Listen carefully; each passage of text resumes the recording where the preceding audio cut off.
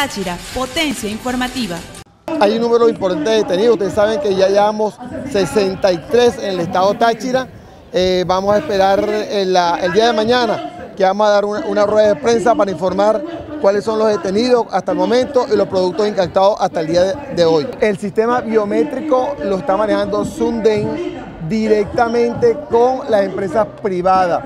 En este caso, el aporte, el apoyo va a ser de parte del gobierno regional para ayudar cualquier situación que lo amerite en la parte de seguridad, pero el sistema biométrico va a ser eh, soportado económicamente por las empresas privadas. También vamos a firmar unos convenios con varias empresas en el Táchira.